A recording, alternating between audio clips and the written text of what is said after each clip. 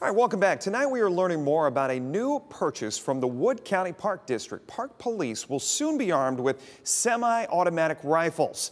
Amy Steigerwald breaks down why officials say this is needed and why it is not unusual. Park Police in Wood County will soon be supplied with an extra layer of protection. Park board members approved nearly $10,000 for the purchase of seven semi-automatic rifles. Director Neil Munger explains members of the force are actually already carrying these firearms on their own account. This is not a change in policy for the Park District in any way whatsoever. Our officers have actually been carrying the weapons for a few years now.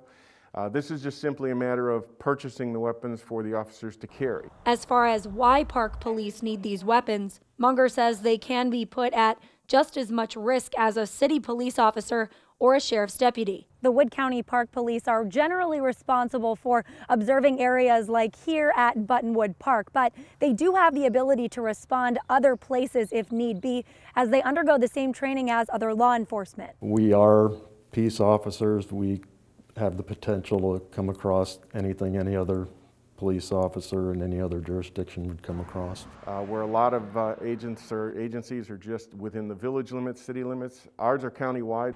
I checked and found out many departments supply their officers with equipment needed for calls they respond to. The Toledo Metro Parks have rangers who are armed police officers but do not carry semi-automatic rifles. Munger says while the rifles police are getting are semi-automatic, they are not military weapons. In Wood County, Amy Steigerwald, WTOL 11.